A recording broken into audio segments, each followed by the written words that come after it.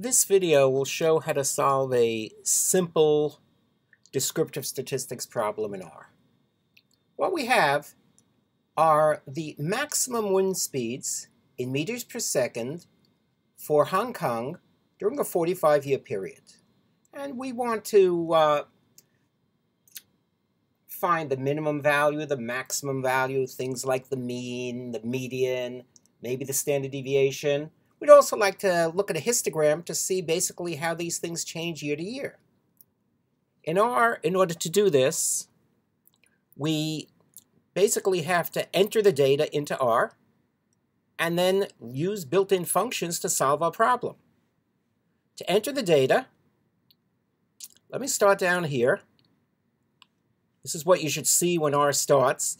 Um, probably instead of starting down here, it would be better if you went to the window up here and edit and clear console, basically you're still starting, but uh, you have a bigger screen to see what you're doing. In Windows, similar options. Um, I'm going to call my variable W for wind. Here's the W. Here is the assignment operator that we've seen before the combine or concatenate operator, and now I'm going to enter the data one by one.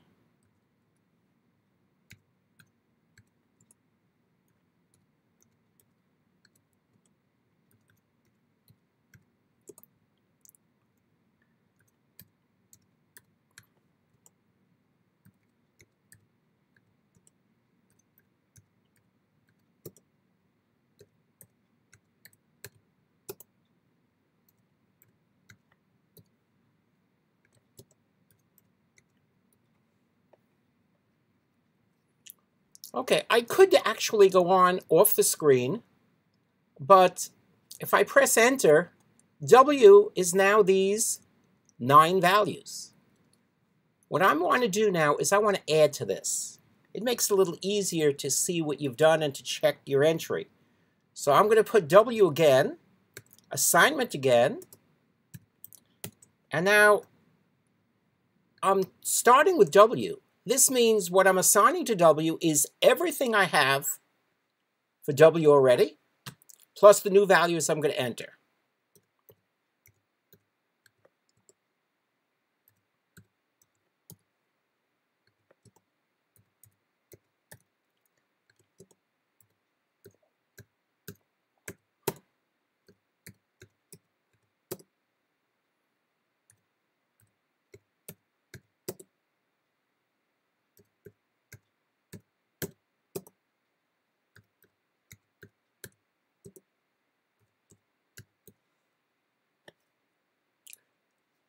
Notice I'm moving my cursor just past the last parenthesis before I press enter. We'll go again. By the way, you might want to think of what would happen if you had to enter this again, or if you wanted to basically solve the same problem again, maybe with some different numbers. Would you have to enter everything all again? And the answer if we do the problem this way is yes. If we do the problem using what's called a script or a document, the answer is no. We'll get to scripts after we finish all of our input. So now we have 37.0. Little comment about the point zeros. Um, everything in R is what's called floating point arithmetic. You don't have to put the point zero. 37 would be fine for this.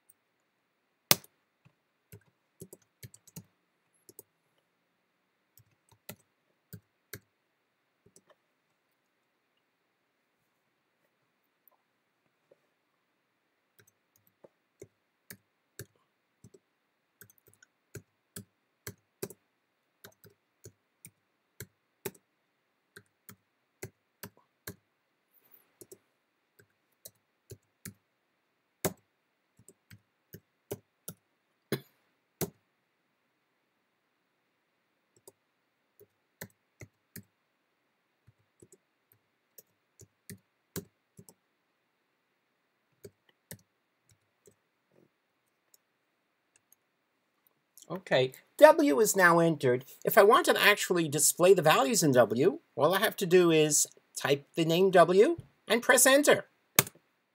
There are my values. Um, over here, you'll see some entries.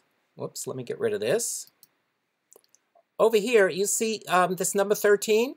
That means that the 63.3 is the 13th value in the vector W. The 37.5 is the 37th value in W. If I wanted to actually sort W, I could actually type SW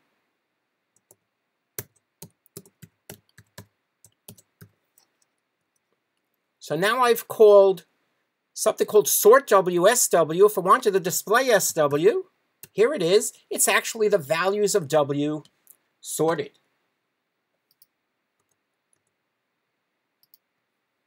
Um, what if I wanted a histogram of the data?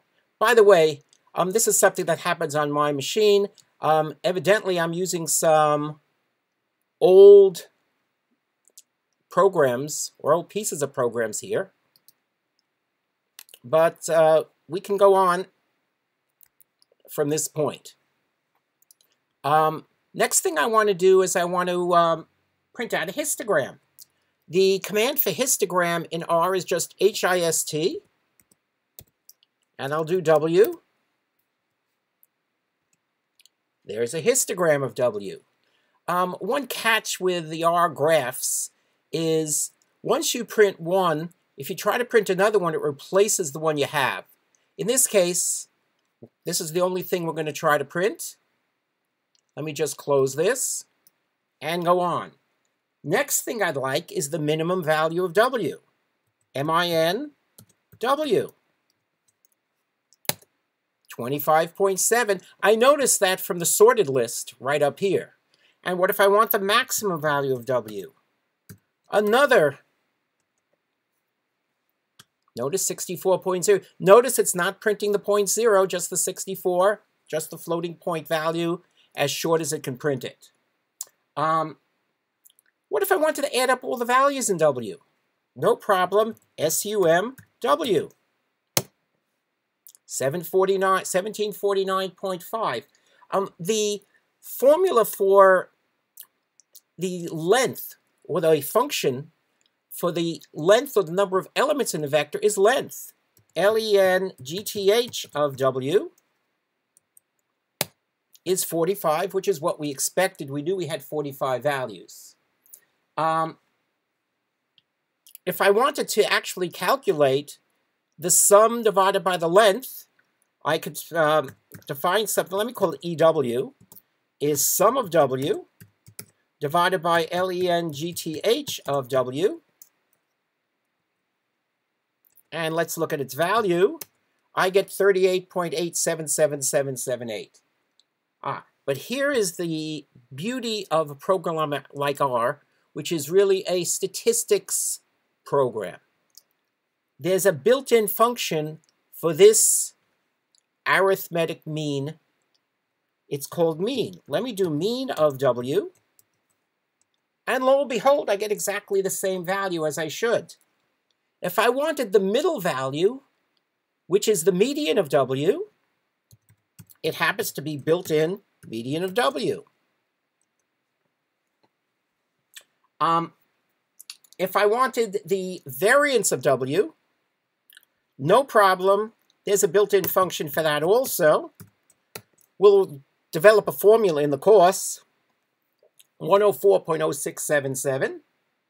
If I take the square root of that, and SQRT is the square root function in R, square root of the variance of W I get 10.20136. If I look at SD of W, standard deviation, another built-in function. Okay, now we have a little problem. Let's suppose I told you I was going to give this problem to you on your first quiz.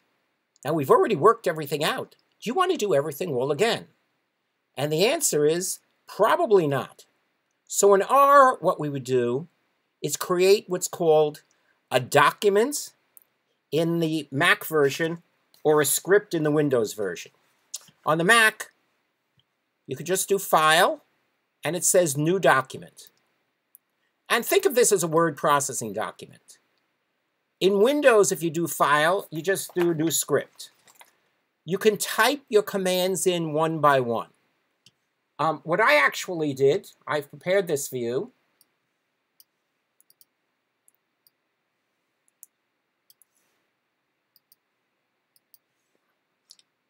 You paste this in and I'll explain what you have.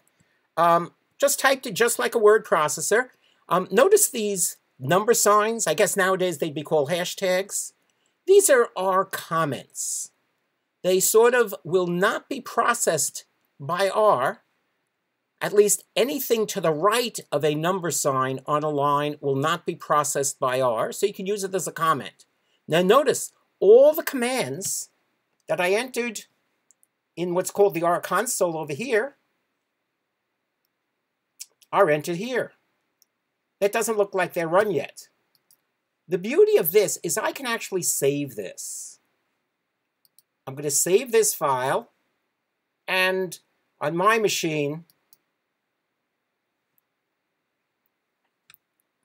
I'm going to save it in my directory called rcode, and I'm going to call it example of R script 2. I already have example of R script, so let me just save it. Whoops, I have to type example right before I save it. Save. Okay, now, once I have this, watch what I can do. Actually, let me clear the screen, like we started. Now watch. I want to enter W again. Now I can select any amount of this and run it from scratch. So let me do this up to sort W. On the Mac, select what you want and then press Command Return or Command Enter. On Windows, you select what you want to run and then press Control R. Now notice, same thing that we had before. Histogram, just run that. Same thing that we had before. Let me close it. Um, I can run all the rest at once if I want. Same thing that we had before. Now, the beauty of this is this is saved. Um, suppose you get this problem on your first quiz. And you've saved this. You can just retrieve the script, Actually, let's close this. So let's suppose um, you had this particular problem or something where the numbers were just changed a little bit. Let me do File. Let me do Open Document this time. Now you have to find the directory where it's stored. In this case, it's open to that same directory. Example of R script. Here's my script, and I can run any piece of it. And that's how you can use the valuable concept of an R script or document.